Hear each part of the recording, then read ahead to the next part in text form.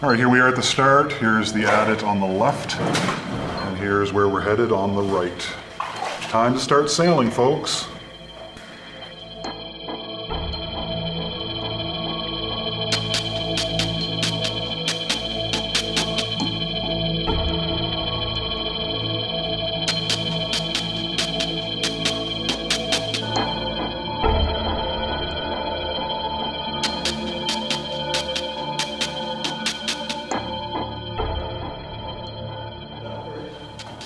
Here we go. We are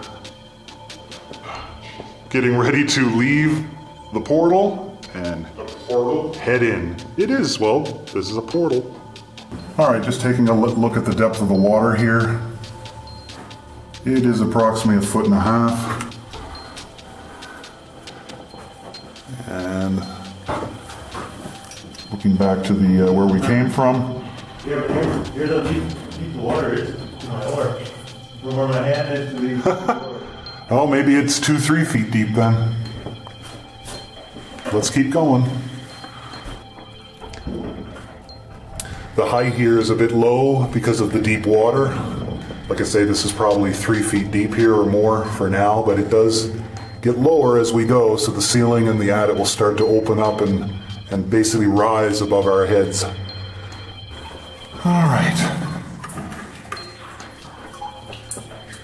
We're about five minutes in thus far. A little bit of dripping. It just continues on and on, but it is getting uh, it is getting lower. Looking back. Wow, it's big in here. All right, we've come upon uh, a stope. And the tunnel just keeps going on the other side, but let's have a look. All right, here we are in the stope. It goes off over there to the left. And there's land here to the right. So there is the, uh, the drift continuing. Like I say, here's the stope.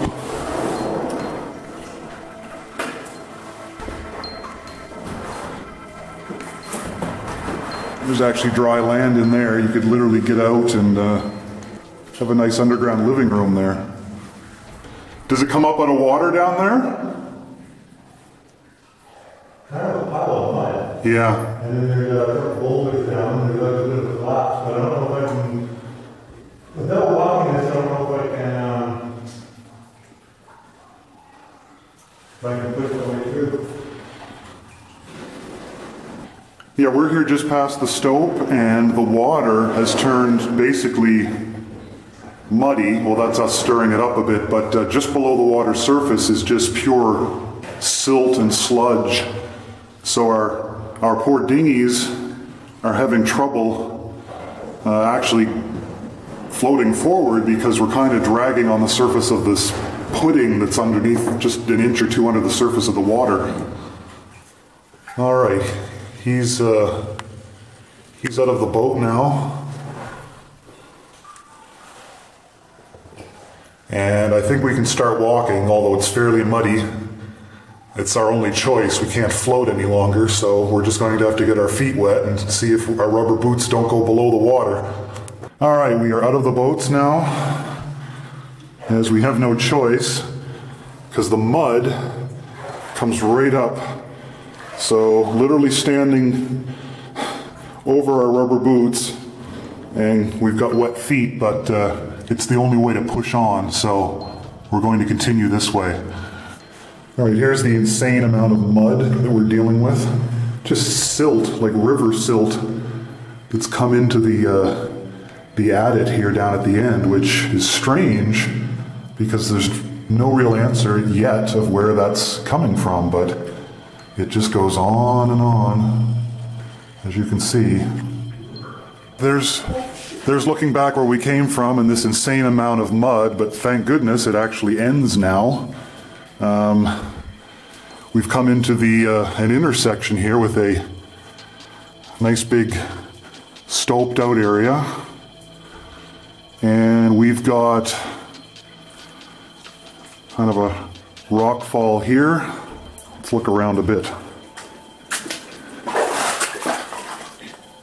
Here's where uh, here's where the water's coming from, from this direction. We don't know why. We may find that out later. There's some old timbering here. And there is a big, uh, big wagon wheel leaning up, up against this timber here. And it is uh, steel or iron, it's not wooden. Maybe a belt went on that for some piece of equipment, or maybe it's uh, for a big cart, who knows.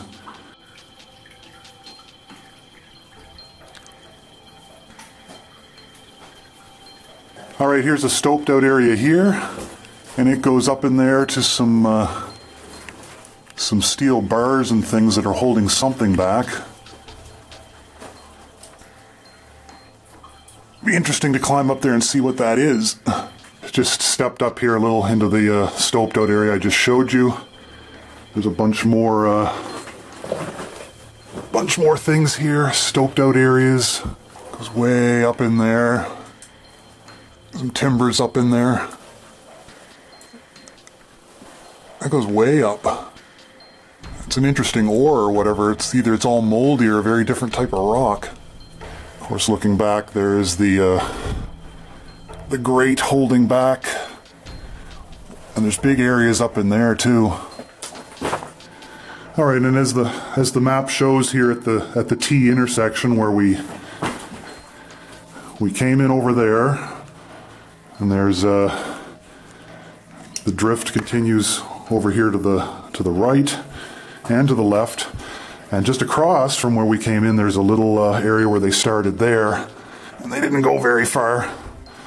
If you look up, the crazy steel bars and shit holding uh, things back there. Plus, there's a weird tube right there. See if we can focus the flashlight in there. It just goes way back. I don't know where that tube would go, but it uh, there's a big stoped out area up in there. Okay, coming down the right hand drift a ways, come into a again more stoping and things in here. A lot of uh, a lot of collapsed timbers and things. Wow.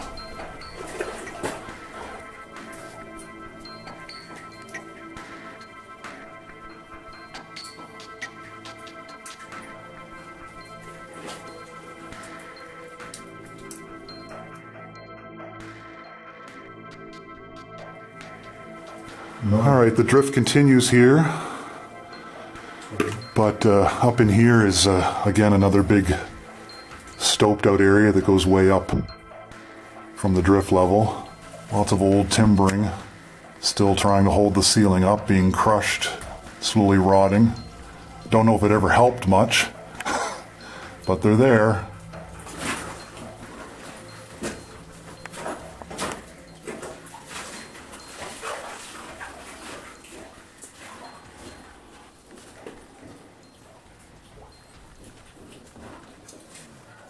Okay, the drift does continue on, but it starts getting pretty scraggy in here. Some rock falls here. There is still some uh, some water flow, so there's still uh, still coming from somewhere.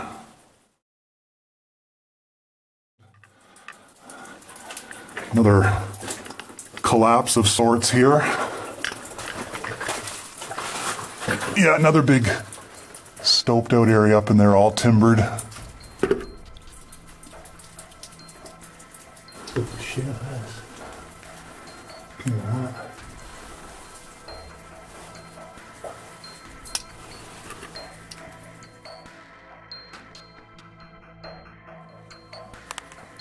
All right, we've come along to uh, come along to all these little things. They they tried. It looks like they started to stope and just stop. That's just a little baby one there, but it just keeps on going. There's areas off to the side.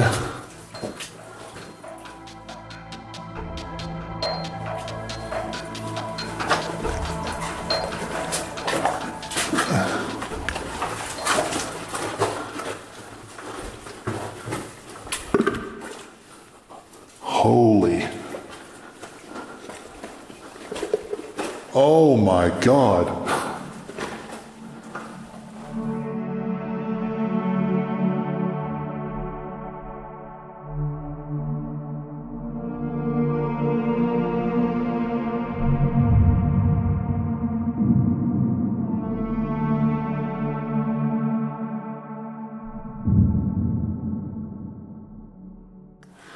All right, we've just come out of there and uh, we've come into a huge stope, maybe about half the size of the one at the entrance, but it's a big one. Much lower ceiling, but man, did they take a lot of material out, out of here. They went way up in there.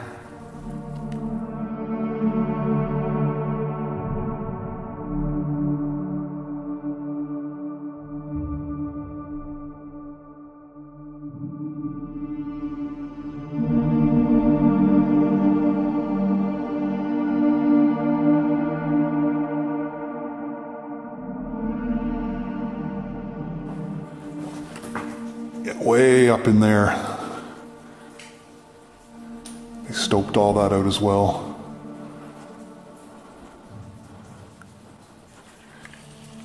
Just keep doing that with your light. I'm going to actually zoom in and get some close ups of those.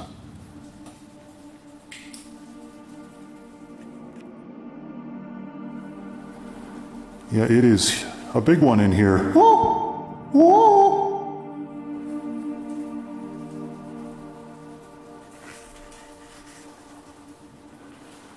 And that's the drift where we came into this stope. Our only way home. That's up into where all the beaming was, where they went almost vertical. But this is a big warehouse sized room. Just to give you an idea of scale, there is a human being. wow.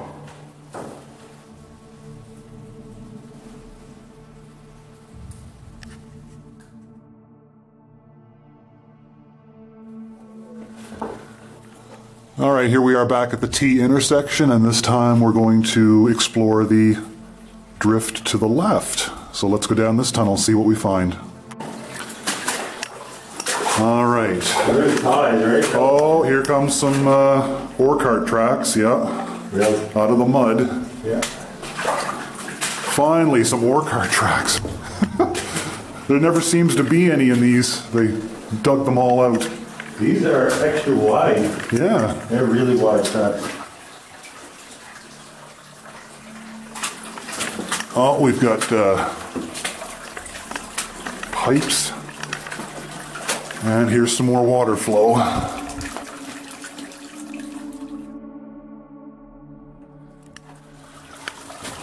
All right, a bit haggard going through here. We've got a bunch of collapsed wood and pipes here.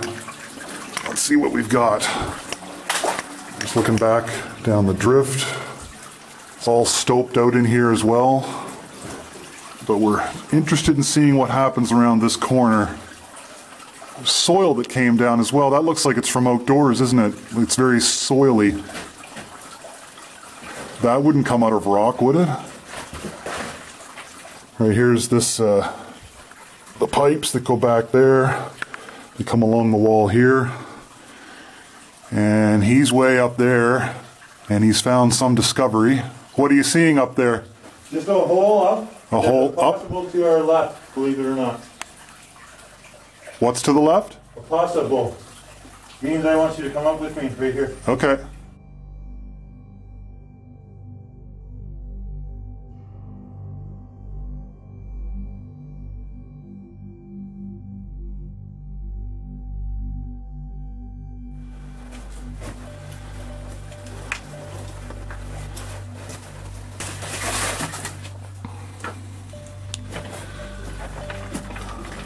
See. He's going down there to see what we've got. Uh, further collapse. Was it a drift or just a little? Something here, yeah. There's, uh, that, this one's unpassable. Impassable? Yeah.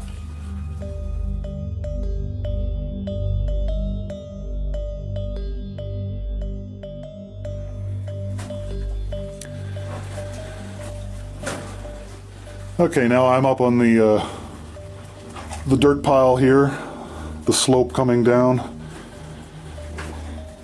and this seems to be outdoor soil and gravel.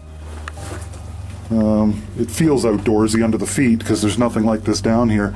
If you look up, there is a uh, what looks to be a, a shaft that goes up to the surface, but it does take a turn there to the right, and all this dirt is coming down it like a chute.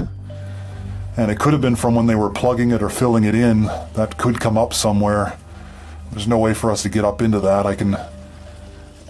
That's about 10, 12 feet above my head as it is, right here at the top of the, the ceiling. So, unfortunately, that will be a great mystery, but it does explain where all this loose mud and, and gravel came from. It's just uh, fallen so gently down in here, looks so out of place. Just another look at the ore cart tracks with a babbling brook down the middle. And then they just head off there into the mud where they become buried. All right, so that ends off uh, the left-hand drift and that ends off the mine because that is as far as we can go, folks. So this is the uh, the mystery adit up in the Folly Mountain ore stope cave, uh, actually explored. We'll see you next time.